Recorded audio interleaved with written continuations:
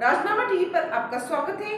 मैं प्रिया, आपके साथ। बांग्लादेशी लेखिका तस्लीमा नसरीन ने सोशल मीडिया प्लेटफॉर्म एक्स पर गृह मंत्री अमित शाह से मदद मांगी है।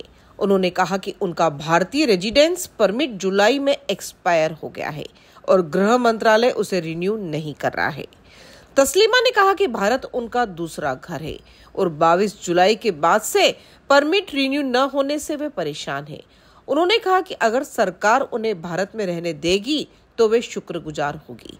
बांग्लादेश इस वक्त गंभीर सत्ता संघर्ष से जूझ रहा है। कुछ महीने पहले पूर्व प्रधानमंत्री शेख हसीना के सत्ता से हटने के बाद से स्थिति अस्थिर है। मोहम्मद यूनुस के नेतृत्व वाली अंतरिम सरकार इस वक्त लोकतांत्रिक संस्थाओं को फिर से बहाल करने की चुनौती का सामना कर रही है। नसरीन 2011 से भारत में रह रही है और उसके पास स्वीडन की नागरिकता है।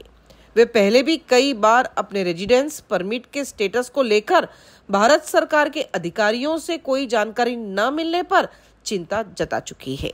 इसी के साथ बने रहिए राजनामा टीवी के साथ। धन्यवाद।